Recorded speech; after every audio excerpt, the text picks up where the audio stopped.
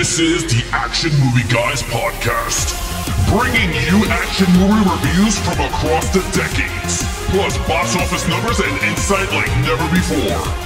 And now, your hosts of the Action Movie Guys podcast, Alex and Nate. What's up, everyone? Welcome to episode number 112 of the Action Movie Guys podcast. I'm your host, Nate, and this is my co host. Alex Figueroa. And today we are wrapping up our Arnold Schwarzenegger month with a 1985 film called Commando. I've never seen this movie. This was, I know what it is, but I've never seen it. Alex, I'm sure this is not a first time watch, but when's the last time you saw this film? I haven't seen it in a long time, and it's weird because I texted you and everyone on the Patreon that Mhm. I de- I never knew that they had a Commando director's cut until today. I purchased the director's cut of Commando digital. I rented it. All right, Uh, what? Okay, without any anything, just real quick, was it different from what you remember? Actually, it was more. They added more scenes, more action scenes, Okay. and a, a little bit more gore. All right, so I'm not gonna lie, I was gonna rent this, but then I ended up just watching it on YouTube for free with subtitles from another country. So this was quite the experience for me. They were in another language. I don't know what was going on, but it was the same exact movie. So we're gonna go ahead and review it now. Before we do that, you guys already know we're gonna give you some box office numbers, a little bit of budget information, and then of course we're gonna give you the critics and audience scores from Rotten Tomatoes to let you know what people think of this movie in general. So Alex, please take it away with some box office numbers. Yep. So Commando from 1985 box office numbers domestic 35 million, international 22 million, worldwide of 57 million. Um they don't give us the budget, but domestic opening was 7 million dollars. okay 57 million worldwide i'm, I'm gonna be honest it doesn't seem like it cost a ton you know not, i'm not saying it's low budget but i'm saying it, it probably made a little bit of money because it does have Nine kind of a following oh Budget. then it definitely made money so Yeah. there you go all right so it was a moderate little a moderate little hit for arnold this was early on in his career so all right now reviews so i was surprised not that these scores are incredibly high but i was surprised i thought they might be lower because i don't know i just never watched it and whatever but this has a 69% critic score so not too bad and then it has a 67% audience score so audiences and critics see almost eye to eye on this movie, both near 70%. So it seems like a movie that a lot of people like. So with that being said, it doesn't matter if they like it or not. We don't care because we're going to tell you if we liked it or not. Alex with the director's cut, me with the foreign language dubbed uh, or subtitled version from YouTube. And uh, we'll tell you what we think now. Alex, please take it away with Arnold Schwarzenegger with one of the greatest character names of all time, John Matrix. That's actually his name. His last name is Matrix. What'd you think? I love the name, bro. I'm not gonna lie. I think it's one of the one of the top names for action movies. John Matrix is cool. It's a cool name. Such but an anyway, action movie name. It is. It's very. It is. But okay, in terms of uh, Arnold in this movie, all right. So this is Arnold in his prime. Now you can see the difference between Arnold's acting in this 1985 movie and then later on when we covered like the Last Action Hero, The 90s. the- yeah, in the 90s. You can see he got better with age. With that said, I'm not going to critique him much as in his action because this movie didn't have much dialogue for him. He had one-liners galore in this movie. He was more action oriented. This is where the this is where 80s is at its best in this movie because this is where more action oriented than storyline, which we're gonna get that in that with the story. But in terms of Arnold, he was good. Him and Alyssa Milano, which plays Jenny Matrix, that's his daughter. They had good chemistry when they were together. It started off Jenny little- Matrix. That's her name, Jenny Matrix. I know it's just so weird. Yeah. Um, Jenny and John Matrix. I thought the beginning of the movie started off like a like a TV show, like like very T. Like she puts ice cream in his nose and then he grabs it. He's like, oh, yeah. So it was like like a Full House intro. But other than that, Alyssa Milano, Arnold Schwarzenegger had pretty good chemistry as father and daughter. I believed it. I thought they were really uh, good together on screen. Arnold Schwarzenegger as the main character, he was very good. When he was angry, he was angry. When he did the action scenes, it was superb. He was really good. And my man is jacked. I totally forgot 1985 Prime Arnold. When he's Yes. when he's holding a log, like a 30 foot log tree? with one arm, I was like, this dude is jacked. Yeah, look, with that said, I gave him a four. I thought his character was good. I don't think it warranted a five. I think later down the line, when he started to, to get it into more acting roles, I think he found his way. So for me, I, I gave him a four. Okay. As someone who's never seen this movie, Mm-mm. I'm just going to come right out the bat and say this movie is super weird.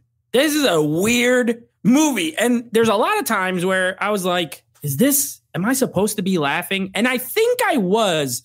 I think there is sort of a sense of mm-hmm. humor that kind of runs through this movie. And I'm giving everyone the heads up now. If you've never seen it, watch it with that mindset. This is not like a, this is not, I always thought, because I'd never seen it, it's just going to be like a first blood, you know, or like a, like a serious action movie. So it's not meta, but it's funny. The opening scene, I nearly fell off my couch because is him with a chainsaw and then he walks down a hill and he's holding an entire tree. Let's call it what it is. You said a log. It's a tree. It's like Yeah. 30, 25 feet, 30 feet long. He's huge. And the very next scene, he's like feeding a deer some berries and laughing. and he's eating ice cream. and like throwing her the girl in the pool. And you're right. It's like straight out of a 90s sitcom. It's such a jarring because the first like five minutes of the movie is just a bunch of people getting killed. It's like a guy gets shot by the garbage man, and another guy gets shot at the car dealership. And at first, I almost texted you and was like, Am I watching the right movie? Does this movie just start off with people dying and no talking? And is this wrong or whatever? But it turns out it was right, I guess. It's a very weird, like, opening way to open a movie. Like, here's a bunch of people you don't know. Some people die, and then all of a sudden, Arnold's a lumberjack, and then he's playing with deer. Anyway, all that to say, I agree with the name. This is one of the most, this is almost feels like the most 80s action movie as possible. It's almost as if they knew in the future people were going to kind of parody that and this is what they're going off of. And I don't mean this in a bad way. If anything, I'm saying they might have been ahead of the game a little bit, you know, when they when they made it. Joel Silver produced it, one you know, a prolific producer. So, I'm going to go with you. I'm going to give him a 4. I don't think it's the greatest role. You know, obviously a lot of the other ones he had were better than this cuz you're right. He doesn't have a lot of dialogue. He only talks in one-liners pretty much. I think they're funny. A lot of them are funny. Mhm. I especially like when the guy tells him he's just like, no. And then he shoots him. And then the girl is like, are you going to tell me what's going on? He's just like, no. He, do- he doesn't, he just like deadpan. He didn't have that Arnold charm that he gets later, but he still, it was still funny to me. So I give him a four as well. I like the name. I, he's great in the action scenes, clearly. He picks up an entire phone booth with a guy in it.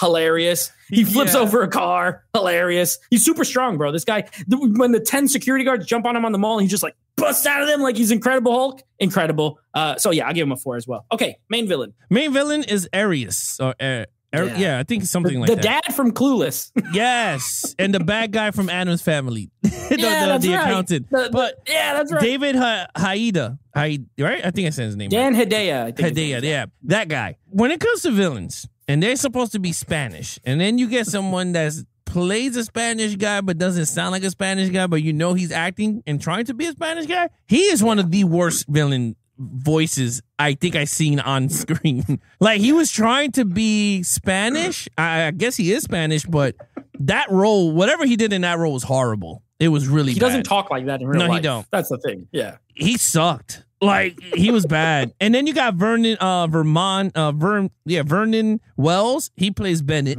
which fights him at the end. So those are the two villains in this movie. Honestly, the main guy who tries to get him sucked. He never fought Arnold. He gets shot through a window with a shotgun. That is it. That's all you get from that character. He stinks. I gave him a one. He is not good. His accent is god awful. But again, this is the 80s. A lot of 80s movies has this whole trope with Spanish people with thick accents that you don't know what the hell Yeah. they're saying for some reason. Yeah. But anyway, I'm not gonna.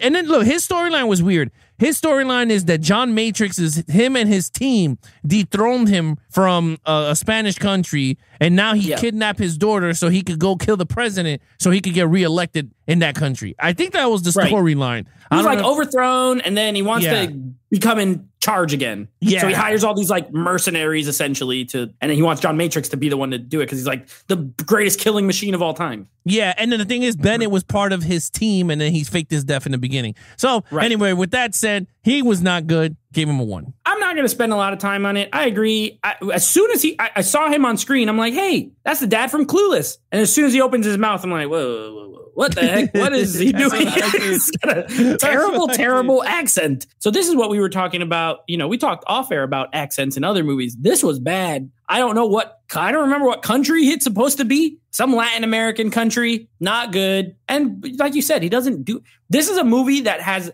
full of henchmen. Right? They do all the work. Well, or lack thereof, because Arnold literally kills 100 people. But it's mostly henchmen that do like fight Arnold or that he has to deal with. He barely does anything. This guy's whack. I agree with you. I'm not going to spend a lot of time because you said it all perfectly well. I also gave him a one weak villain, but it doesn't, not necessarily a detriment to the film, but he's just not very good. All right, action scenes. All right, now this is where the director's cut kicks in. The director's cut gives you more explosions, more gore to the violence in this action scenes, which helped. Again, it's not like a 10 minute clip you're getting into this. I think they just extended a certain scenes. In terms of the action, action is 80s, man. Uh, there's nothing I could break down in terms of the action film in this. Is it far fetched? It is one of the most far fetched things I ever seen. But it's so cool because I grew up with this movie. Like uh, it, like it's funny. Like we did a show back then, which I want to bring back for the lives. Like when you see something, nostalgia kicks in, and you remember when you were a kid when you see it. I always remember Commando with like me, my dad, and my mom watching it in the morning, like on TV, and it's awesome. It's a great movie when you look at it from an action standpoint, right? Like they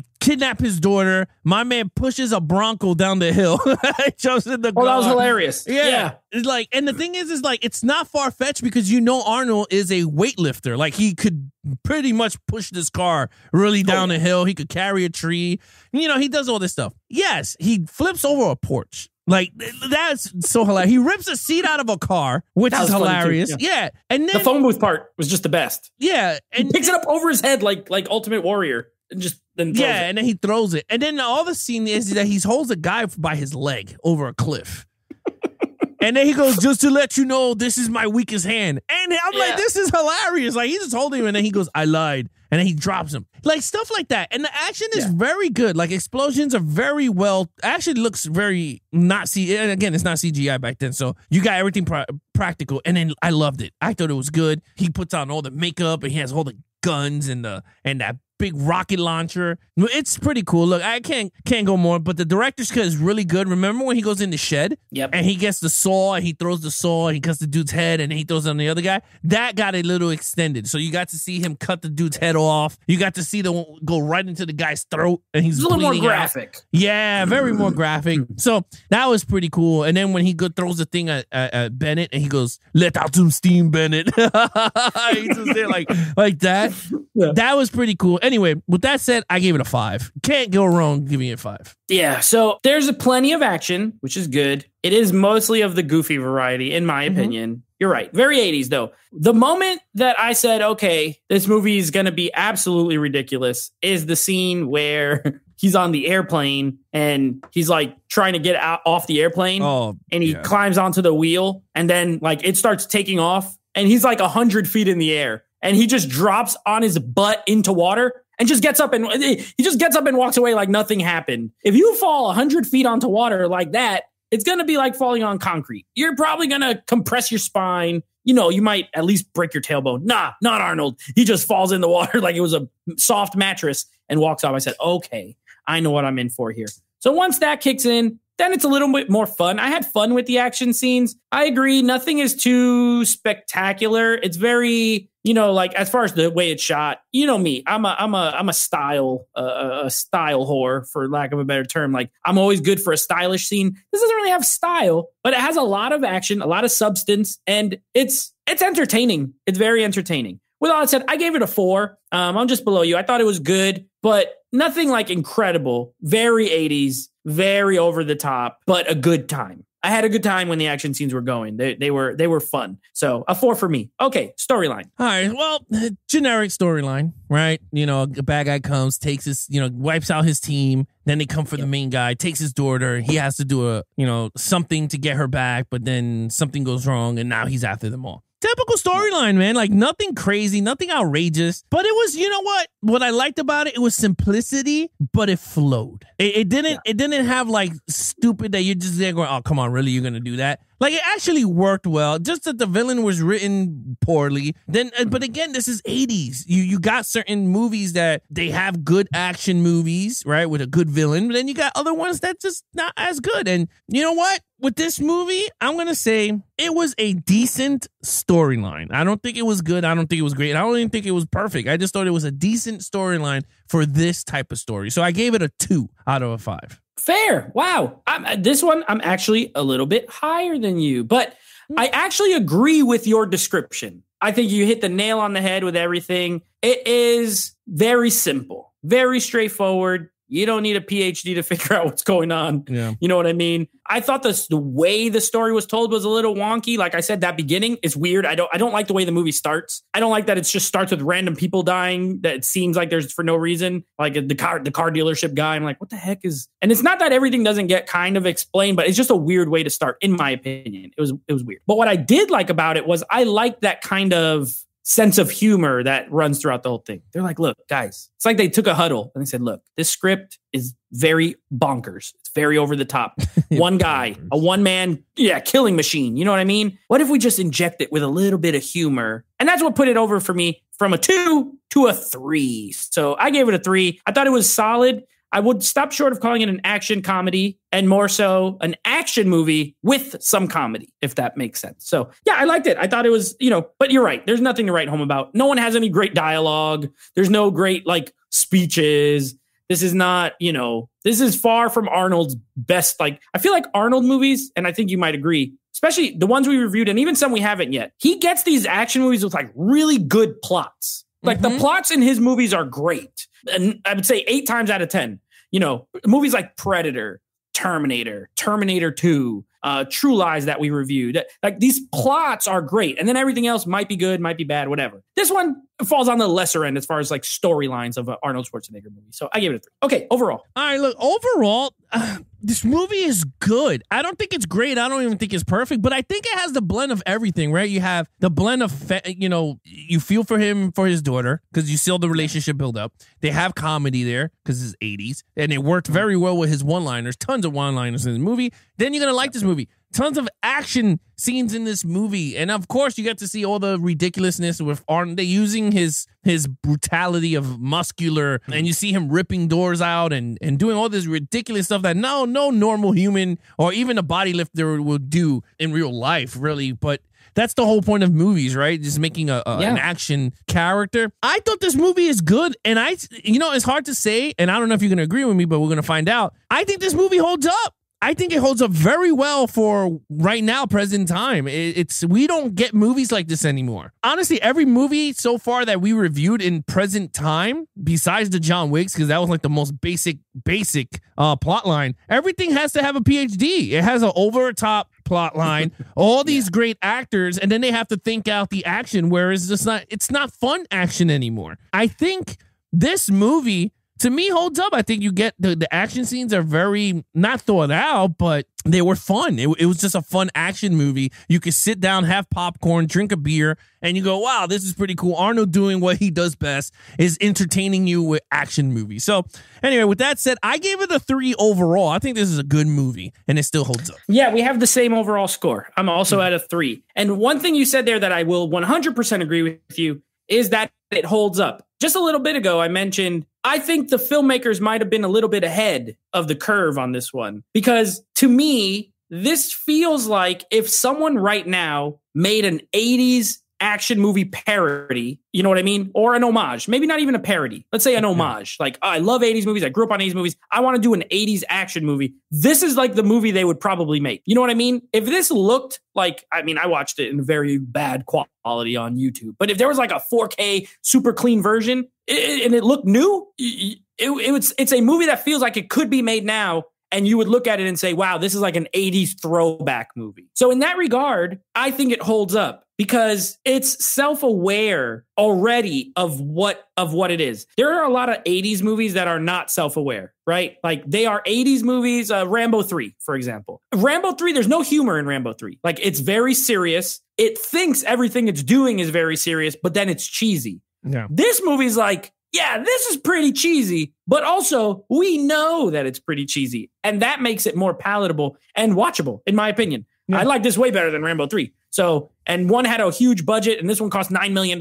So Yeah. it's not apples to apples, but I'm just for an example's sake. So, yeah, I, I agree. I gave it a three. It's a nice middle of the road action movie. Arnold has made far better movies, and I think he's made far worse. This is probably like right in the middle of the pack for like Arnold Schwarzenegger movies. But it was fun. I liked it. I, I'm surprised it took me this long to watch it. But if it ever gets like a 4K, I will probably buy it. It seems like a movie that I could buy and watch. It seems very rewatchable. So yeah, I would I would definitely purchase it. Okay, so what's your total score? My total score for this movie is a 15 out of 20. And uh, for those of you out there that are going, oh, where can I get my hands on this director's cut? Digitally, you could get it on Apple or wherever. It's uh, $14. So you could, you get, I think you get both. You get the regular or you could choose either one. You could rent it $4. You could rent each, either one, the regular or the, uh, the director's cut.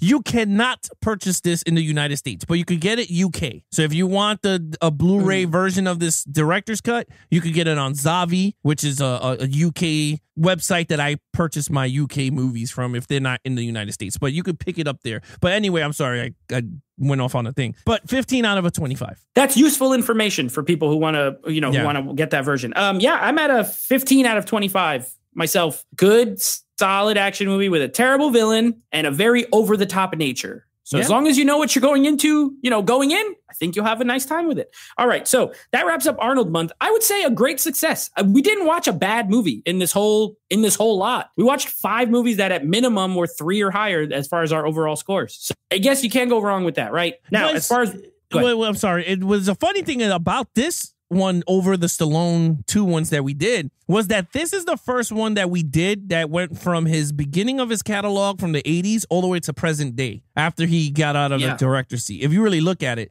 and they all so far worked out. Now we're gonna, you know, when, once we do another Arnold month, we'll click in, you know, his other action movies plus Conan the Barbarian because that was another big one in the 80s. I don't know if you've seen those. Conan, Eraser, Yeah. you know, Collateral Damage. Yeah, he's got a lot. We did, yeah, uh, yeah. There's a ton. He has a lot of '80s and '90s stuff that we didn't even touch. Nope. Um, and Stallone too. We didn't do like we didn't do Cliffhanger. We didn't do Daylight. Daylight. We didn't do Locked Up uh, I or Lockup You. or whatever. Well, Yeah, I don't know if you Yeah. ever seen that over one. the It's top. called- we didn't do a lot of movies. Yeah, I don't know if you ever seen that. Stallone is one of those straight to DVDs. It's called D-Tox, but in the United States, it's called Eye See You. It's a very good movie. Think of it like Edge of Darkness, but with Stallone. Oh. I think you might like. Okay, it, yeah, but yeah. yeah, we got a lot of we got a lot of stuff, and um, you know, plenty of time to go over them. But that's that. So next month, uh, we are starting a new franchise, which is going to be the Transporter franchise. Three out of the four movies star Jason Statham. One of the other ones stars another guy. So that should be an interesting uh, a series to watch.